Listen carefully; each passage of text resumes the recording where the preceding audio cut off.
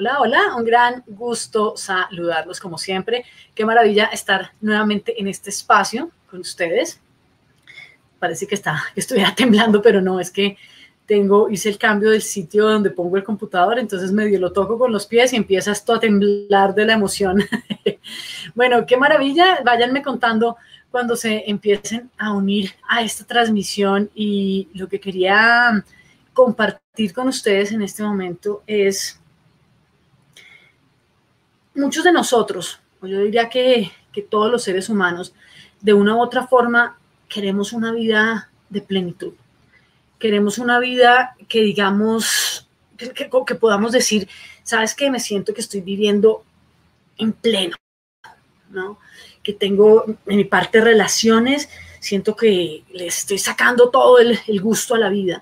En mi parte económica siento que las cosas fluyen y me siento con capacidad de producir y siento me siento con solidez, con seguridad económica. En mi parte intelectual me siento, me siento con, con, con expansión. Todos queremos eso de una u otra forma. ¿Estamos de acuerdo? Váyanme contando si están de acuerdo y qué gusto que me vayan saludando mientras se van uniendo. Hola Raiza, gusto saludarte. Raiza Nueva York, ¿cierto? Hola Catalina Oviedo desde Medellín, qué gusto saludarles. Eso es como que lo que buscamos de una u otra forma. El, más allá que, muchas veces la costumbre se nos vuelve el, creer que lo que queremos en la vida es no tener problemas, no, lo que verdaderamente queremos es sentirnos en plenitud, ¿de acuerdo? Y es bien interesante porque como seres humanos nos hemos inventado un poco de cosas de qué se necesita o qué necesitamos para ello y qué es lo que nos limita y qué es lo, qué es lo que nos obstaculiza para eso. En la clase de ayer, ayer teníamos una masterclass con Gabriela Maldonado, que es una de nuestras cofacilitadoras en el ICG, una persona fascinante y una cofacilitadora, una coach eh, excelente, por eso que la tenemos en el ICG. No sé si han tenido la oportunidad de ver esa clase, si no, te la recomiendo que la busques entre nuestros videos eh, en Facebook, en la página donde estás viendo esto en, en Facebook, ahí debe estar. Hablábamos de de cómo muchas veces nos enredamos a nosotros mismos mentalmente. Y es fascinante que no nos damos cuenta que estamos enredados en nuestro mundo interno y culpamos las circunstancias o a los otros por ello. Y esa división entre, ¿sabes qué? Si estoy viendo la situación en este momento de esa manera, no es porque venga de afuera y me esté causando esto, es porque hay algo en mi mundo interno que me está enredando. O si no, ¿cómo podemos explicar el que personas con situaciones supremamente retantes hayan logrado romper con todo eso y tengan una vida espectacular? ¿Cómo explicamos eso? ¿O cómo explicamos personas que tengan circunstancias ideales y tengan una vida desastrosa? ¿Por qué? Porque tenemos que enfocarnos en que la, la forma en que vivimos, nuestra experiencia de vida está absolutamente relacionada con nuestro mundo de primer mirar. Pero, ¿cuántas personas realmente hacen eso? ¿Cuántas personas se quedan esquejándose y diciendo, ah, yo no tengo esto porque mis padres, yo no tengo aquello porque mi pareja, yo no tengo aquello, aquello porque el gobierno? Entre más uno se justifique y justifique el tema que no tiene, que no puede, que no logra, porque y ahí empieza a recitar todo lo externo, ahí ya está perdiendo el juego. Hacen uno de los deportes que, a mí me, empezó a gustar recientemente, recientemente digo hace unos, cuando llegué a Australia, bueno, como la última década, pongamos. Y me encanta porque he tenido la oportunidad de ir al abierto de Australia a verlo en vivo y en directo. Entonces, eh, yo me imagino esos jugadores, y estaba viendo hace poco eh, un mini informe sobre, sobre eso, entonces uno ve los jugadores como muy amateur, como esos jugadores que no llegan realmente a las, al top de la lista, y veía uno en particular que entonces estaba jugando y no hacía más sino quejarse, quejársele al, al árbitro o al umpire, no sé cómo se diga árbitro, al juez, ah, que porque le, se movieron, que porque están haciendo ruido, que porque el otro se demora, que porque mire que esto, que mire lo otro. Y el otro jugador, el cual yo veía el informe, era Nadal. Rafael Nadal, el español, que es fabuloso, estaba súper concentrado en su juego, súper concentrado en su tema. con el mismo ruido, con el mismo sol, con el mismo tema del juez de línea que se equivocaba. Él seguía enfocado en, venga, ¿qué es lo mío? ¿Qué es lo que yo tengo que hacer acá? Mientras que el otro absolutamente desconcentrado y pelea aquí, pelea allá y esto. Entonces yo decía, claro, cuando salen yo me imagino que le preguntan a Nadal si gana o pierde, él va a decir, ¿qué? ¿Gané o perdí? Porque fue mi juego. El otro va a decir, gané, probablemente perdió, si no entiendo, perdió. No, si debía haber perdido. No, no me vi el informe completo, pero probablemente ha perdido. ¿Qué va a decir? No, yo perdí porque este, porque el otro, porque aquel y porque... ¿Quién tiene más capacidades, más posibilidades de lograr lo que quiere? El que está mirando internamente y dice, bueno, a pesar de esto, a pesar de esto, venga, yo estoy aquí, aquí en lo mío. ¿En qué puedo hacer yo? Si sí, el sol está insoportable, si sí, el público está moviendo, si sí, hay ruido, si esto está equivocando, pero venga, venga un segundo. ¿Dónde empiezo yo a mirar y a buscar mis soluciones? Si yo no empiezo aquí, ya, juego perdido. Ahora me voy a poder quedar con muchas justificaciones y sintiéndome bien y diciéndole a los amigos, no, es que fue que, que fue y los amigos le van a decir, sí, es el colmo, esos desgraciados, sí, sí, sí. Bueno, te quedaste con el resultado con muy buenas razones. Ahora, eso se está volviendo supremamente común. Y acá voy a trazar una línea. Acá no se trata de mi culpa, me da culpa y todo lo malo es mío. No, no, no. Pero es entender que la forma en la que procesamos la vida, el sabor que la vida tiene, las posibilidades que vemos, las oportunidades que vemos, están dependiendo de nuestra salud, de nuestro mundo interno, de nuestra forma de ver las cosas. Porque hasta que no entendamos eso y no empecemos a mirar en esa dirección, siempre vamos a estar perdiendo el juego porque vamos a estar creyendo que la culpa es de otros. Ahora, eso no quiere decir que es donde está trazada la línea. Eso no quiere decir que si yo, por ejemplo, estoy en una relación con alguien que está cruzando mis líneas, yo no puedo decirle, oye, ¿me sabes qué? Por ahí no es. ¿Sabes qué? Ven y aclaremos la situación. Esto me parece, esto no me parece. Claro, hay una palabra en inglés que se llama accountability, que es como yo soy responsable de mi parte, entonces voy a tomar responsabilidad de mi parte. Y eso también incluye el que los demás tomen y yo ayude a los demás a que tomen responsabilidad de su parte. ¿De acuerdo? Eso es otro tema diferente. Yo estoy hablando en donde es que estamos buscando las soluciones, la respuesta, nuestros resultados. Entonces, eso es, eso es un muy buen recordatorio porque yo creo que si nosotros queremos algo diferente a lo que ya tenemos, algo mejor a lo que ya tenemos, tenemos que empezar a saber dónde buscarlo. ¿De acuerdo? Eso es lo que nosotros hacemos en el coaching, tanto nosotros a título personal como cuando queremos ayudar a otros, es empezar a saber dónde buscar las respuestas. Empezar a saber cómo definir la situación en la que estamos, porque desafortunadamente a la gran mayoría de nosotros, culturalmente, lo más común es definir erróneamente lo que estamos viviendo, o lo que no tenemos, o la culpa. O En la clase de ayer, que les contaba, y es una clase que duró como hora y media, tal vez un poquito más, que está buenísima, no porque haya estado yo ahí, pero está buenísima.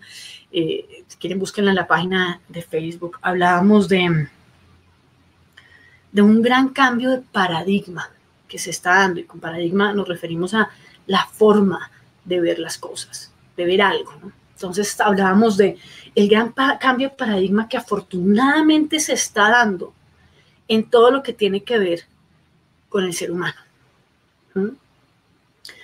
Nosotros vemos cambios de paradigmas que son evidentes en los avances de la tecnología. Antes dábamos algo por cierto y ese paradigma cambió radicalmente gracias a esos avances y ahora nos relacionamos con las cosas de una manera totalmente diferente.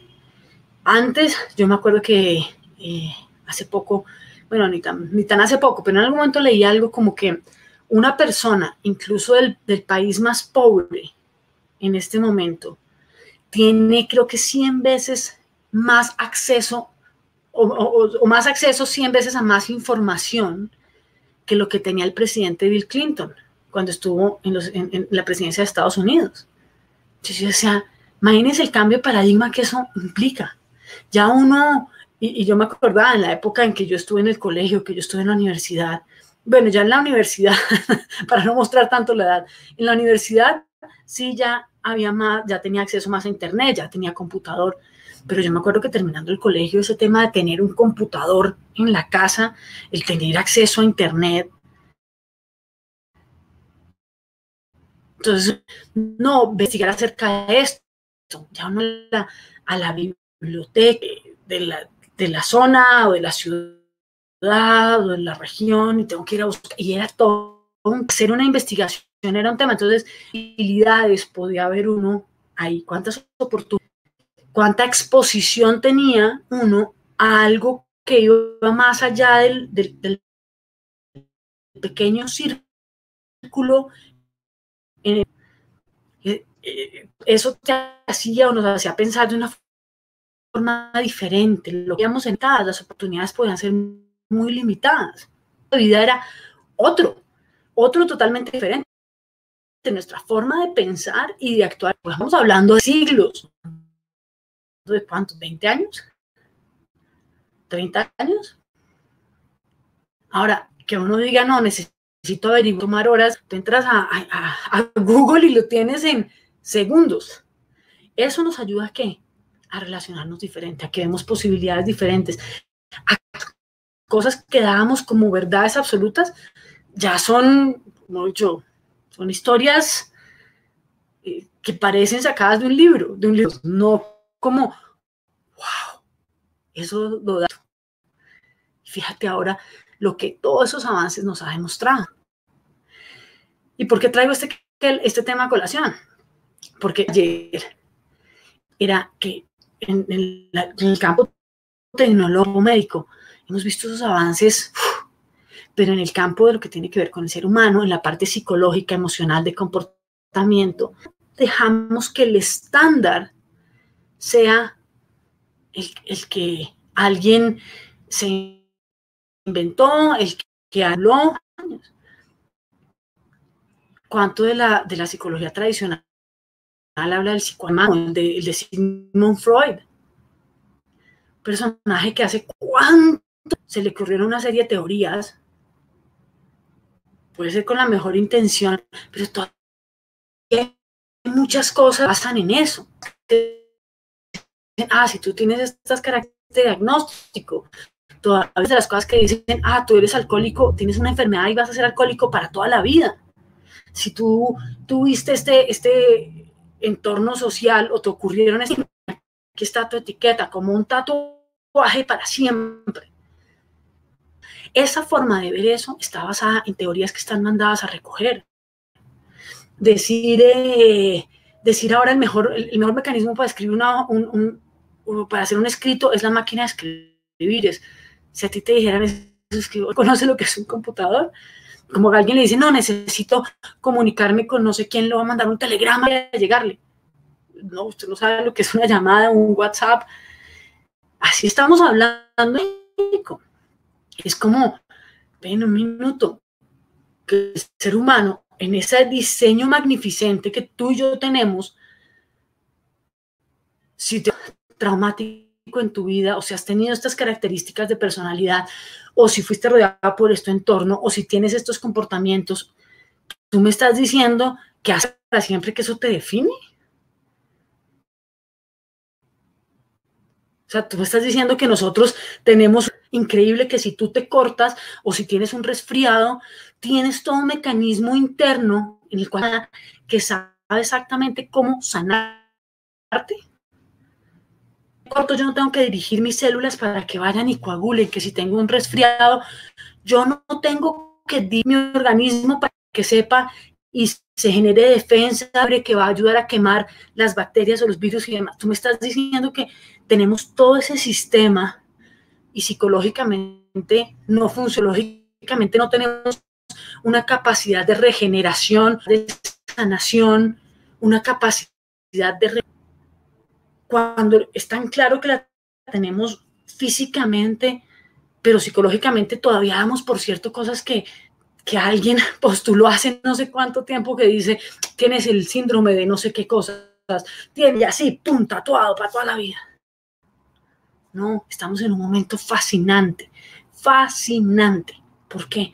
Porque por fin estamos pudiendo decir, no, no, señores, eso pudo haber parecido útil, a alguien le pareció que era eso. No, pero es que ese alguien tuvo una observación de ciertas personas y ya, pero ¿en qué momento dejaron la magnificencia del ser humano de lado? ¿En qué momento se les quedó por fuera el realmente entender nuestra capacidad y naturaleza psicológica, que así como tenemos un sistema inmunológico, tenemos un sistema de coagulación, tenemos un sistema de regeneración celular, incluso, y esto fue algo que rompió paradigmas, un sistema de neuroplasticidad, es decir, que si ustedes pregúntenle a un, neurocirujano o un, un neurólogo, ¿qué les enseñaban hace 20 años? Una neurona muerta era neurona perdida. Si alguien tuvo un accidente y se le afectó cierta parte del cerebro, así quedó. ¿Qué nos dice la neuroplasticidad ahora? No, señores, las neuronas se regeneran, se arman nuevos caminos neuronales. ¿Qué pasa? Alguien pierde la mitad del cerebro en un accidente y la otra mitad empieza a adaptarse y a evolucionar de tal forma que suple eso otro. Entonces estamos hablando que psicológicamente no, psicológicamente estamos determinados a ser así, que tenemos esta personalidad, entonces estamos encasillados a ser así. No, no. Y ahí, pero qué bueno, porque tú ya estamos en un momento espectacular donde nos estamos reinventando, porque estamos despertando de quitarnos de encima todas esas teorías que podemos decir mil gracias por su mejor intento por ayudar al ser humano, pero ahora estamos en un momento revolucionario, porque estamos redescubriendo la verdad acerca de tu capacidad de potencial ilimitado. Dejemos todo eso a un lado. Volvamos a lo más esencial, que es entendernos en nuestra verdadera capacidad, en nuestra gran naturaleza como seres humanos. ¿Mm? Ahora, si tú quieres generar cambios en tu vida, tienes que empezar en la forma en cómo te relacionas con todo. ¿Y de dónde viene eso? De nuestra mentalidad, de tu mentalidad, de la forma en cómo piensas, en cómo es, en lo que das, por cierto. Hasta que no hay un cambio ahí, va a ser muy difícil que tus resultados cambien. Muy difícil, ¿de acuerdo? Hay un webinar que tenemos al aire en este momento que se llama eh, Mindset o Mentalidad, cómo configurar tu mente para el éxito. Si aún no lo has visto, es totalmente gratis, te recomiendo que lo veas, porque ahí profundizo un poquito más sobre el asunto. Eso es fundamental, totalmente gratis. Puedes ir a www. déjame chequear, www.cursosparacoaching.com slash mentalidad visítanos, invierte ese tiempo en, ti, en decir, bueno, déjame chequear cómo está mi mentalidad para el éxito, dura un poquito menos de una hora, es absolutamente gratis para que, para que lo aproveches, ¿de acuerdo? Me encantaría voy a saludarlos, gracias por estar acá, me encanta que ya sea que los estés viendo en vivo o en diferido, primero, me encantaría que me saludes, ya voy a saludar a los que me han saludado para saber que están acá Déjenme saber si estos lives les gustan, si este contenido les gusta, si les es útil, déjenmelo saber acá para decir, bueno, vale la pena, vale la pena salir al aire, vale la pena porque les, les está gustando, está siendo de utilidad. Denme un segundo que quiero aquí chequear porque es que no los veo yo acá. Ok, denme un segundo porque es que yo no los veo. Eh, déjame ver. Porque es que no los veo. Ahora sí, ya ahora sí los veo. Eh, bueno, Gloria Paola en Chile. Gloria Paola, qué gusto que estés acá también. Lupita Camacho, qué gusto. El es en Cúcuta, Colombia, una ciudad espectacular, con mucho, mucho calor, espectacular. Mercedes Noel en Texas. Mercedes, qué gusto verte. ¿Cómo va tu gente? ¿Cómo va tu grupo de Noel, coaches que, que está haciendo un trabajo maravilloso en Texas, bien vida de muchas personas Qué bueno, qué bueno, Mercedes, que estés acá. Hola. Gusto. Un par de minutos más aquí con ustedes. Cuéntenme qué contenido les parece útil. Déjenme saber. Espérense un minutín. Una cosa para saber que esto está haciendo. Ya. Es que a veces se me, se me mueve, se me mueven los, los Jacqueline María Segarra, qué gusto. Un tiempo que sin duda la pena. Mi, ay, perece, porque mire, no había tenido la oportunidad. Jacqueline, te puedo sacar un poco más al aire, qué maravilla. Un tiempo que sin duda vale la pena. Llevo un año y medio con ustedes y sin duda han cambiado mi manera de ver. Jacqueline, espectacular. Gracias por hacer parte del, de eso se trata, en el que, estamos viviendo ahora, que, que, este despertar. Eh, tan maravilloso. Bueno, cuéntenme alguna pregunta, les, está siendo útil, qué tiene sentido de todo esto. Espérenme que este comentario se corra. Mil gracias, Manuel. Qué bueno que esté, que esto esté siendo, que esto esté siendo útil. Y bueno, eh, ya se aproxima, además increíble como se mezcla del año en que estamos, ¿no? Entonces, eh, bueno, qué mejor momento para, para empezar las formaciones, esos cambios en nuestra vida. Me aquí qué comentarios tengo por acá. Ya te repito el, el, el link www.cursosparacoaching.com slash mentalidad. Ahí encuentran el, ahí encuentran el video. Eh, bueno, ¿qué más comentarios tengo? Parece ser que no tengo en este instante otro comentario por aquí. es que se me mueven. Bueno, déjenme saber, así lleguen, si lleguen más tarde a, esta transmisión, déjenme saber qué les parece, salúdenme, así sé que, que, vale la pena y bueno, y nos encontramos muy, muy pronto, estén súper sintonizados en nuestra página acá de Facebook para salir a compartir, contestar sus preguntas, inquietudes, lo que podamos eh, aportar y demás, pues aquí estamos para eso. un muy, muy, muy bonito día, resto de día eh, donde se encuentren. Aquí me parecieron. Eh, Gloria Paola, ah, mire, es que, es que mi tecnología, lo bueno que es. De todas maneras, Karen, estos espacios son muy importantes para para mí ha sido un cambio maravilloso y útil. Excelente, Gloria Paola, qué bueno. Bueno, y contigo entonces cerramos. Un abrazo a todos, nos seguimos encontrando por acá. Cuídense mucho. Chao.